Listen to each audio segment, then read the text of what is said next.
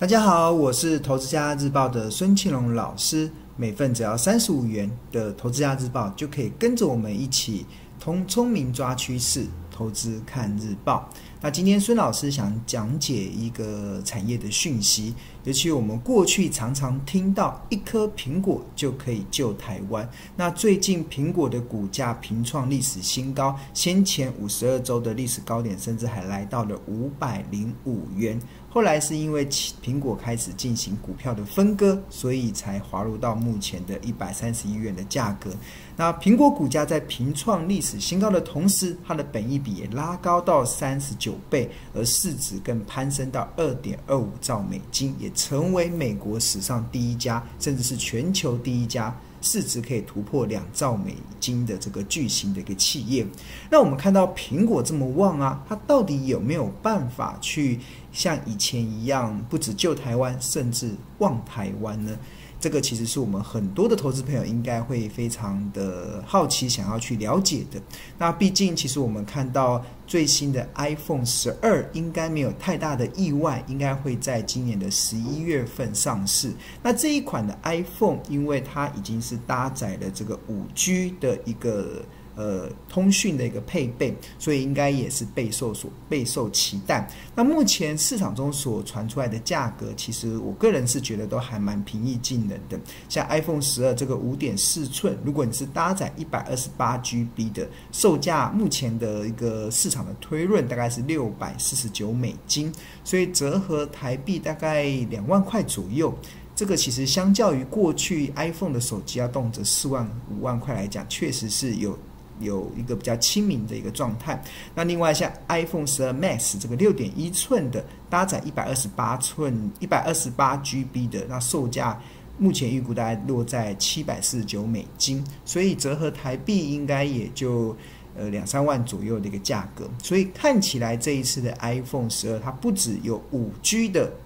配备，那甚至它的一个价格应该也会让一般的消费者比较容易接受。再加上像目前大家对于整个的一个换机的需求其实蛮大的，所以 iPhone 十二的一个问世啊，似乎也会让大家会对于整个的苹果未来的营运。给予高度的一个厚望的一个状态，所以也激励了苹果股价近期的一个飙升。那过去我们大家总知道，其实台湾身为苹果最大的供应链的一个厂商跟一个国家一个区域，其实一般来讲，如果 iPhone 销售的好，自然而然我们的相关的一个供应链厂商其实就会有水涨船高的机遇机会。那过去台股常常会听到所谓的瓶盖股。瓶盖股就叫做苹果概念股，为什么会有苹果概念股？其实就是来自于我们台湾很多厂商的大部分的订单，可能都受惠于苹果。那苹果销售。苹果的产品销售好，那自然而然订单的增加量就会蛮大的。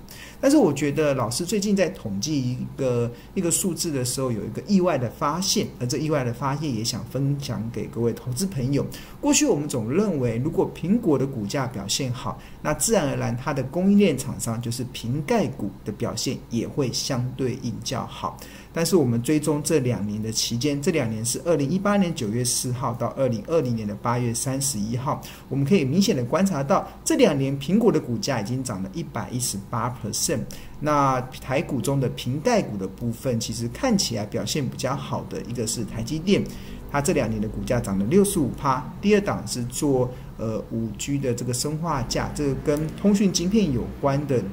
一家业者，他们的涨幅是来到六十七 percent。但是大家有没有看到，其实帮苹果组装的红海，它这两年的股价涨幅竟然是负四趴哦，甚至协助苹果提供高阶镜头的大力光，这个是台股的股王，这两年的股价竟然跌了三十趴，所以看起来其实是一个蛮吊诡的一个状态，就是苹果股价在创新高，但是帮它组装的红海，甚至提供高阶镜头的大力光，股价却出现了反向的发展。这个确实是有一些不寻常的一个状态。那另外，我们在追踪这些股价跟苹果股价的相关系数。所谓的相关系数，其实是所谓的关联度。那一般来讲，关联度最高就是一，所以苹果自己的相关系数是一。那如果相关系数越高，代表未来苹果股价往上走，那这些跟苹果高度正相关的公司，未来的营运也比较有好的表现。那目前我们去追踪台面上主要的瓶盖股，那看起来其实与苹果股价关相关系数最高的，其实是台积电。台积电的相关系数是高达零点八一。那玉金光这个其实是苹果的这个第二个镜头的供应链厂商，他们玉金光它的与苹果的相关股价的相关系数是零点七四。那接下来是稳茂的零点五八，红海是零点三六，大力光是零点一六。我看到这个数字的时候是有点吓一跳了。所以过去我们总认为大力光有很大的营运的来源，订单来来自于苹果，但是它其实跟苹果股价相关系数其实是非常低哦，只有零点一六，所以我们就不能用过去的思维认为未来的苹果 iPhone 销售的好，大力光的股价就有机会往上走。这个从过去的经验跟统计数字来看，似乎这个关系是不存在的。那甚至连红海跟苹果的相关系数也只有零点三六，所以看起来这两年台股中的瓶盖股跟苹果。的股价似乎已经越走越远，他们的一个相形渐远的情况之下，其实也造就了股价的涨幅跟苹果有点不太同调的一个状态。那为什么会有这样状况？我觉得当然跟苹果本身的一个供应链的一个政策有关。比如说，它在镜头的部分，它不会只想依赖大力光，所以它就特意去扶植玉金光成为它的第二供应链的厂商。所以基本上，大力光的订单被玉金光分食掉了，那自然而然就会造成玉金光的股价往上走。大力光的股价往下跌的一个这样子的一个状态，所以这个跟苹果的一个本身的供应链的一个管理方式，其实有一个很大的关系。那台股中其实跟苹果相关系数最高的台积电，其实我觉得它基本上是有它的道理的，是因为其实我们看最新一代的 iPhone，就是这个 i 十二 iPhone 十二，它采取的是 A 十四的晶片，甚至苹果的电脑 Mac 的中央处理器，甚至苹果 Mac 电脑的这个 Mac 的绘图处理器，大家有没有看到？全部采用的制程其实都叫做台积电的五纳米。看不到其他的一个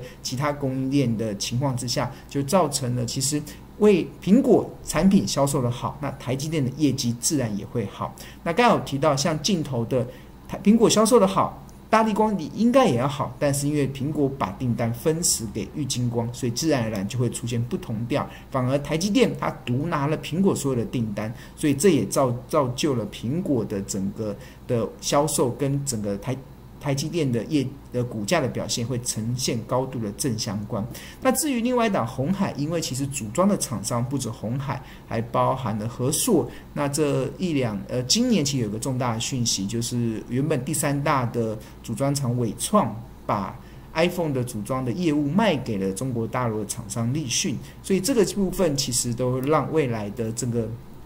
订单的分时之下，也造成了。结局呃，未来即使 iPhone 销售好，不一定会直接而且很明确的带动红海，当然会有一定的正相关，但是已经没有办法呈现这种高度的正相关，这也是投资人在投资。苹果概念股的时候要特别留意的地方。那另外，其实刚才讲的这叫苹果供应链管理的一个政策，造成了这个股价相关瓶盖股跟苹果股价的相关系数不同调的情况之下，还有另外一个，其实就是我们看到苹果这几年的业绩的一个贡献，其实来自。服务的部分其实大幅的提升。那这张图其实是最新一季苹果的财报，它最新一季的营收是来到五百九十七亿美金，那年成长是高达十一 percent。那其中来自硬体的是有成长，成长幅度是九点九帕，但是来自服务的、来自软体的。它成长幅度高达十五 percent，所以很明显，我们观察到这这几季苹果的一个财报，基本上都是来自服务的部分呈现一个比较快速的成长，而来自硬体的部分，其实成长速度已经放缓了。那台厂本身对苹果最大的贡的贡献，其实就是来自硬体的部分。所以当这个来自硬体的部分成长开始放缓的时候，当然我们的整个供应链瓶盖股的业绩，甚至股价的表现，就会开始跟苹果开始出现渐行渐远。因为毕竟苹果来自服务的。业务的营收占比越来越大的情况之下，就会产生这样的差异性。那另外，我们再仔细去拆解来自硬体的部分啊，其实也有另外一个意意外的发现。就刚才有提到说，来自硬体的年成长是高达九点九，但是来自 iPhone 这个产品的成长率其实已经不到两趴了哦，这个其实是一个蛮大的一个警讯。那另外这个 Make，哎，这个呃有打错，应该是 NAC Make，其实它的年成长是高达二十一 percent iPad 年成长是三十一 percent，甚至这个窗带就我们有用带的 AirPods 这个耳机，甚至这种 Apple TV 这样子的一个装置，其年长幅度十六 percent，所以看起来其实。iPhone 的成长幅度其实已经被其他的硬体所取代。那另外，我觉得大家可以留意的就是，因为现在宅经济的一个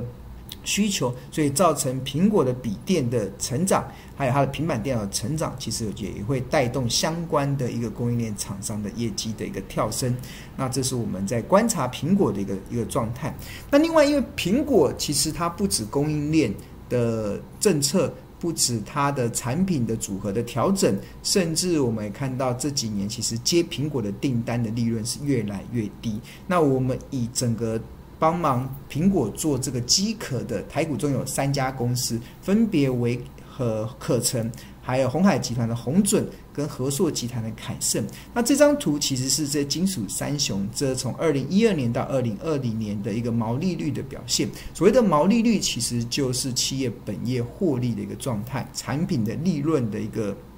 状态一般毛利率越高，代表产品的利润越高。那我们可以很明显观察到，像二零一六年的时候，当时的可成的毛利率还有五十 percent，但是最新一季已经掉到二十二 percent。所以吃的苹果的订单，它的利润反而是越来越薄，越来越少。那另外像合作集团旗下的凯盛，它在先前最高的时候毛利率来到三十二趴。但是最新一季的也只剩下十八趴，今年的第一季甚至掉到负十趴的一个状态，所以看起来苹果的订单已经没有办法像以前这么可口了。那另外红海集团旗下的红准，它的毛利率过去大概还有二十趴，但是现在掉到也只剩下七趴。所以换言之，我们在看苹果的一个呃。呃，所谓的订单的一个状态的时候，因为当利润越来越少的时候，其实也让台股过去的这些瓶盖公司可以因为苹果的订单而出现股价业绩上扬的状态。其实这一两年已经看到的影响越来越少，所以一颗苹果过去救台湾，但是未来一颗苹果能不能旺台股中的瓶盖股，这个问题就要打上一个蛮大的一个问号。好，那今天的一个产业分析的内容，希望能够提供给大家，在面对整个苹果股价创新高，甚至 iPhone 十二即将要上市的一个同时，去思考台股的瓶盖股到底可不可以再做投资。那我是投资家日报的孙庆荣老师，每份只要三十五元，投资家日报就可以跟着我们一起聪明抓趋势，投资看日报。那我们下次再见喽，拜拜。